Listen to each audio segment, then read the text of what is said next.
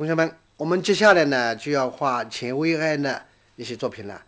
你看，在画布上呢，这一幅呢是两只象啊，他画动物，他主要的画人物，但是他动物也画的比较好啊。那么你看他的两只象呢，用笔呢非常是朴实的啊。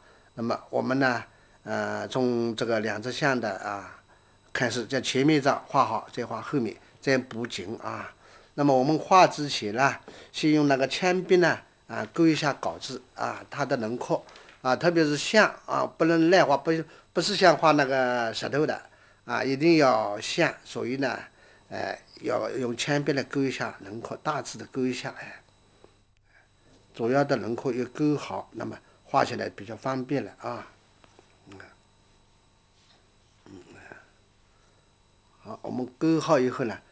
就用一支小白用笔啊，那么，么蘸一下啊，蘸一下呢，我们从它的头部开始啊，先往这里啊，这个地方呢是眼睛啊，这眼睛呢啊从这里开始，这里是一个牙齿啊，哎，都是中锋啊，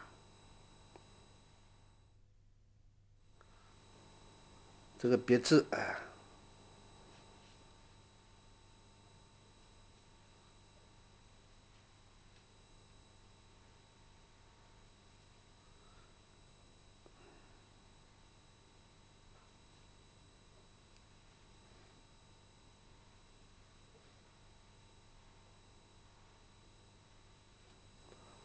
那么它的啊头部。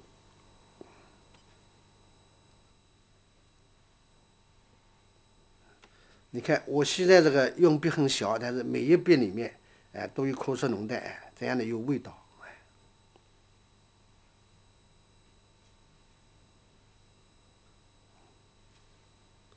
清水哎再蘸墨哎。么少了再蘸一点，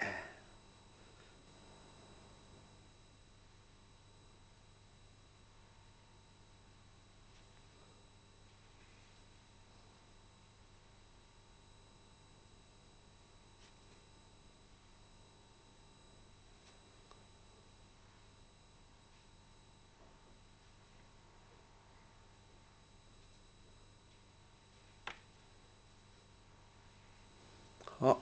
这一张像好了，那么后面的像啊，我们也从眼睛开始，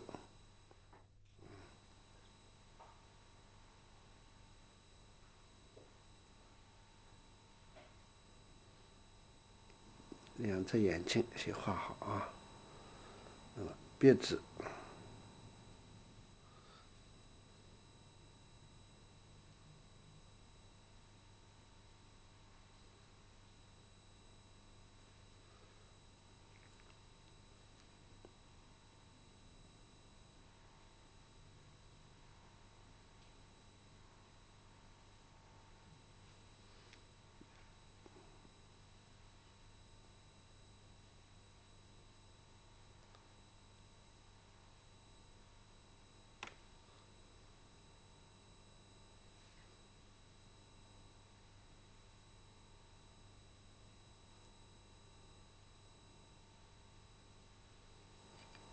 两一对牙齿，哎，画出来。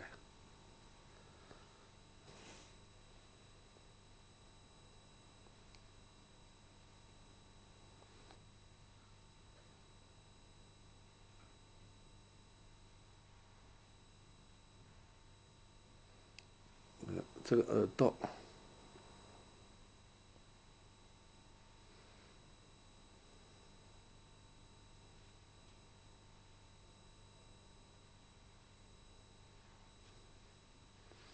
哎，同学们，你们看呐，我这个用笔了，哎，开始的在用，由用到淡，哎，一笔一笔一笔，哎，画下去，这个笔了有有节奏，有浓有淡啊。你看我这个水水里面的，你看啊，哎，都是清水来的啊。那个一先从这个清水里面呢一扔，哎，那么再再墨，所以呢，这个清水还是保持清的，啊，这个不是为了那个吸墨路吸墨路径了，这样呢，你你这个用笔了。就是有条不紊了，哎，浓淡处理了，比较有有一定的适度安排的。哎，你看啊，这个画一棵树。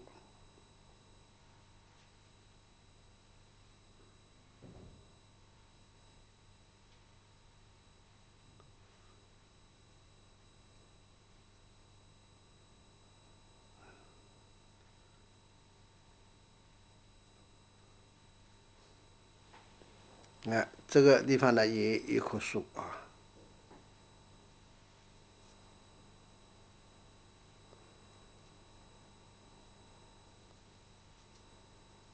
就是这只小白硬币啊。那么枯了以后呢，哎，那么水里一一扔，哎，那么再用，哎，石鳖，哎，这里也用石鳖，哎，一扔，哎。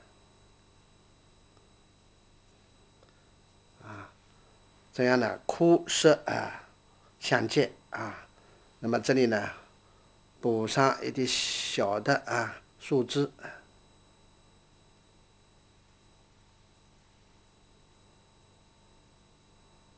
呃，也都是中锋的啊。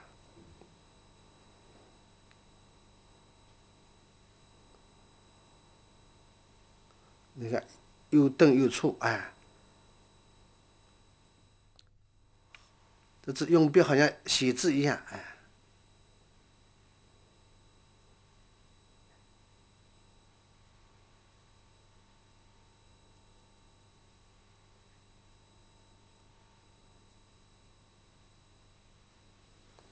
啊，这里也有一点小字，哎，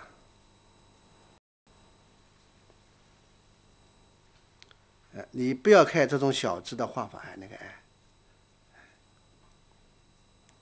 乘坐，哎，如果那，哎，很很滋，你看啊，很非常滋润的，哎，一笔里面有枯色浓淡，哎，很炎润的，哎，虽然枯枯了，里面呢，看起来还是很滋润，哎，好，那么我们呢，先扎颜色啊，颜色的时候呢，我们在这个大象的嘴巴这个地方了啊。眼睛、嘴巴地方呢，哎，放了一点杂石，哎，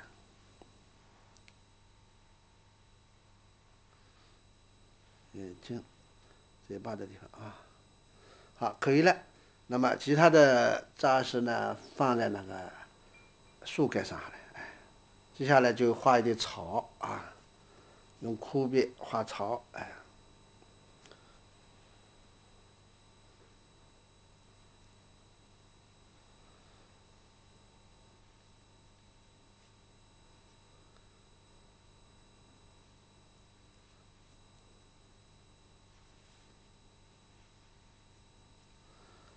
又苦又涩，哎。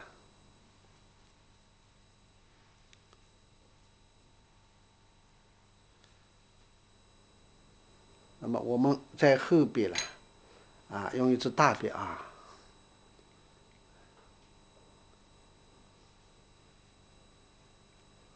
衬上哎一些草绿色的哎，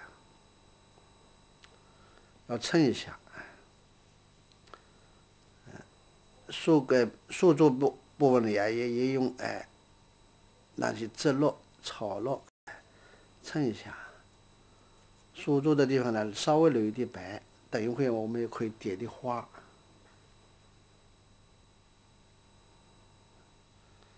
那么这些植落呢，你小心一点，象的身上不要渗进去，白象让它白一点，哎。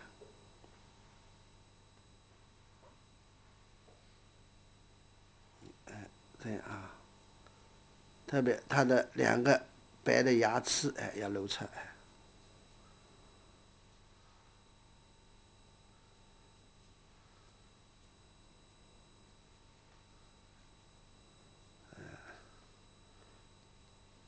点乱一下，哎。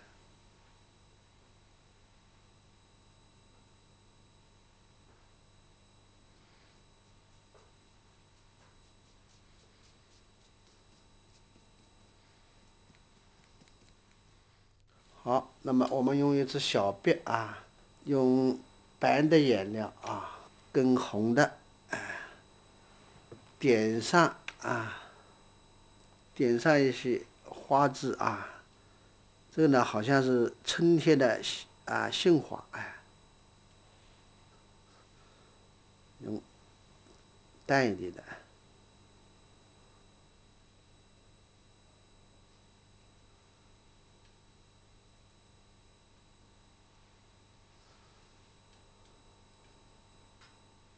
可以趁湿，哎，点啊，这样呢，看起来比较红化，比较匀称啊。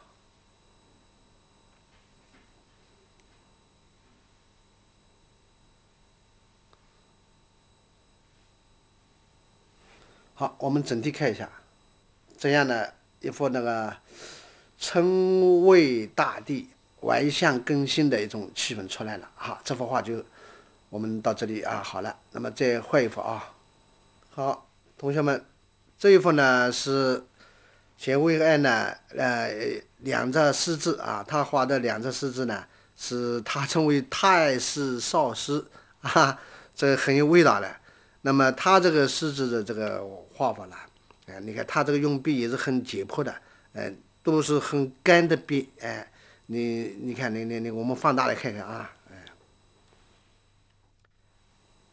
哎，所以我们画的时候呢，我们先用铅笔把它勾一下，啊，勾好以后，我们再用毛笔来，哎，我也是用这支小白银笔啊，好，我们来勾一下。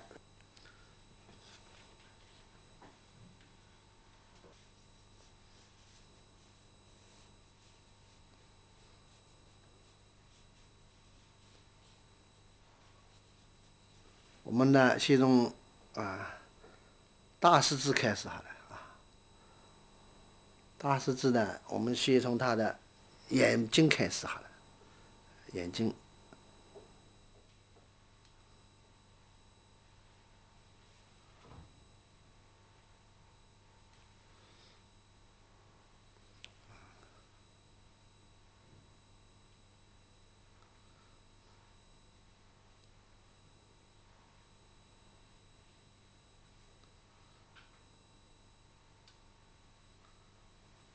那接下来画鼻子，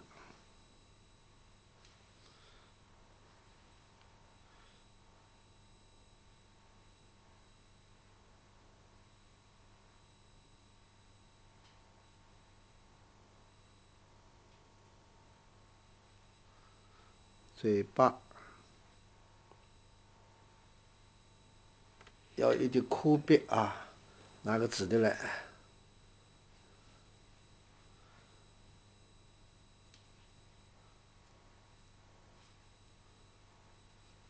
笔要干一点，哎，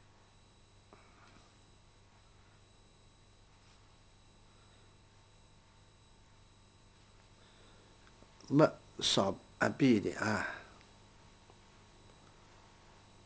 哎，你看我一笔里面都有枯色的，哎，千万不要这样的啊，要要要竖起来。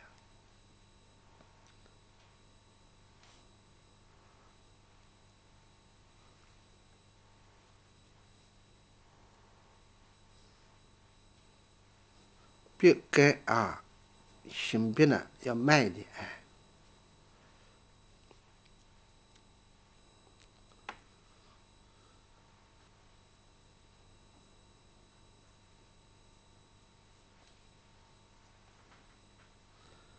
笔上水分少了一点嘛，那么现在那个水上哎，呃，笔写里面的清水里面呢，扔一下，哎，扔的差不多，哎，那么再蘸一点墨，哎。那么你看，好像浓，那么再去掉一点，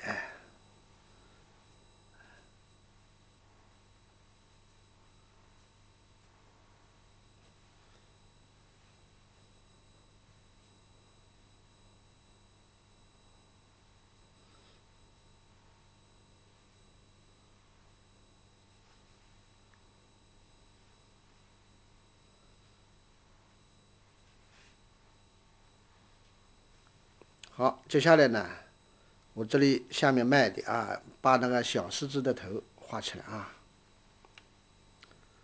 小狮小狮子呢是，再看到这个顶部，那那个鼻子啦、额啊，把它画出来。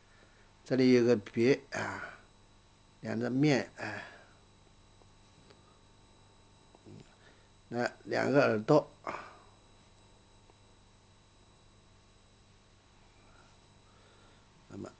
它的须啊，毛须呢，哎，那么这里啊，把它分开来，一个一楼，一楼，一楼。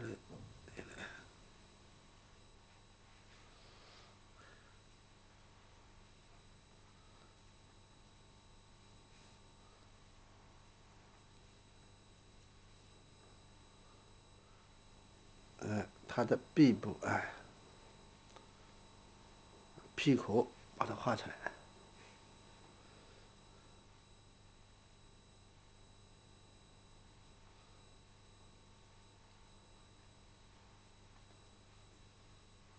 尾巴，哎。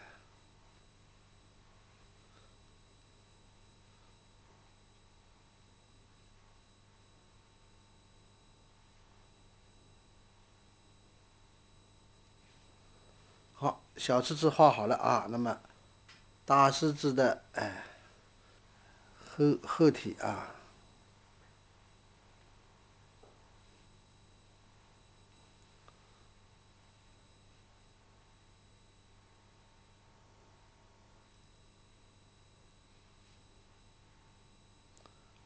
脚啊。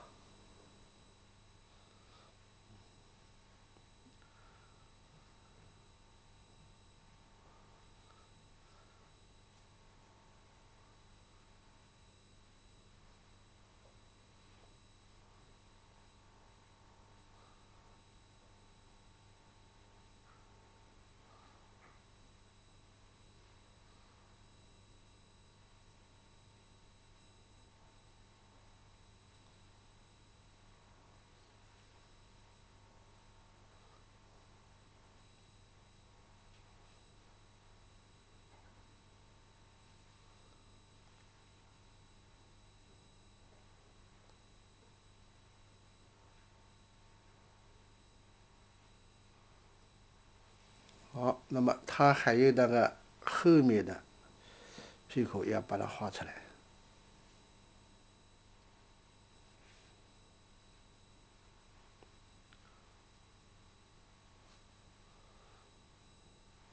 那么，哎，接下去呢，我们用带墨啊，把它衬一下，用带墨啊，色色一点不要紧哎。在这个阴部呢，啊，蹭一下，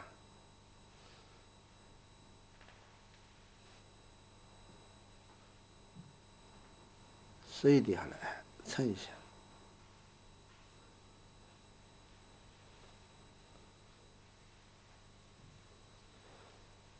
因为它的用笔都是嗯枯的，哎，那么我们试一下。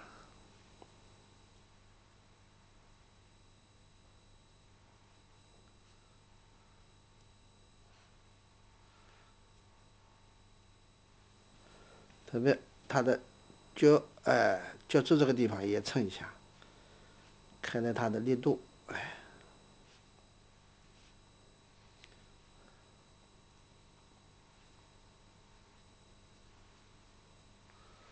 好，啊，怎样呢？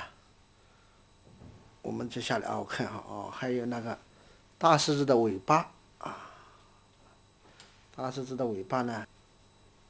尾巴哎，松散一点。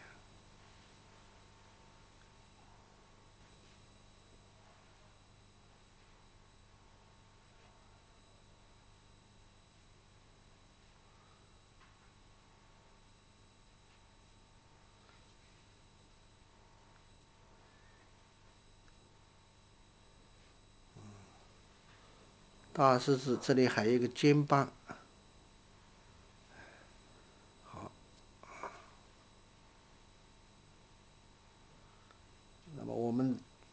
在它的脸部呢，要加点颜色啊，这里要加点颜色，用扎实好了，扎上颜色，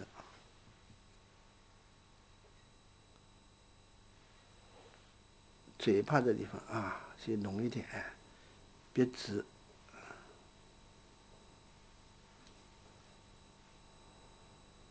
鼻子呢两边哎要留开一点空白，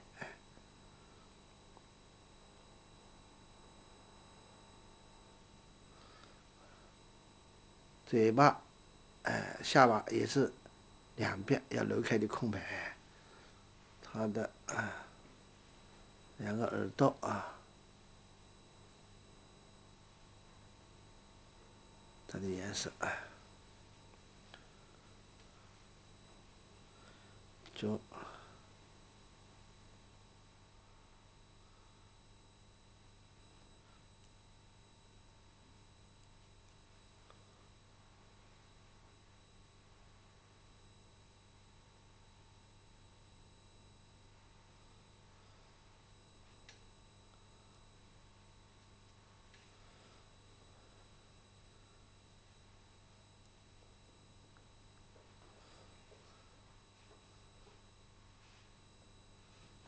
好，我们整体看一下啊，哎，好，基本上我们啊好了以后，你看一下，这个眼睛呢好像还不够精神啊，我们再用啊焦一点的墨啊加一下，好，可以了。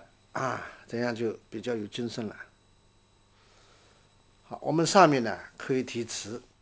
啊，这种题词呢你可以用经文来题啊，哎，经文啦。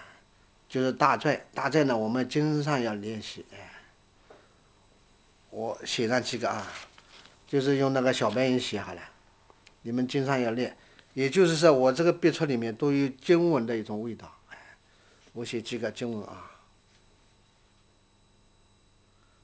你看写经文的时候呢，哎，现在小，哎，也是中锋，哎，要顿挫，又又又又那个啊起伏的一种。笔势哎，所以你这种线条，你用在那个画里面，呃，当然是最高档的了。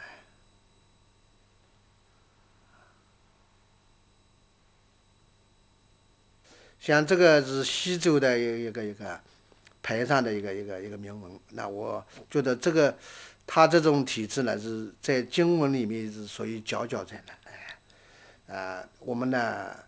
练的时候呢，你你你像也是这样，像我这样哎，很朴实的，不要写的很光哎。你看，跟笔那个呃笔上那个水少了，那么你你就啊慢一点哎。那么没有了，你就用水力，就像写字一样哎。这种方法呢，你经常练习，你对这个画呢，绝对有很大的帮助。好，同学们，我们这一节呢就结束了。接下来呢，我们要临摹一个叫王一婷的一个花卉啊，她的也是画那个动物啦、还鱼啊一些东西，画的比较好的。好，再会。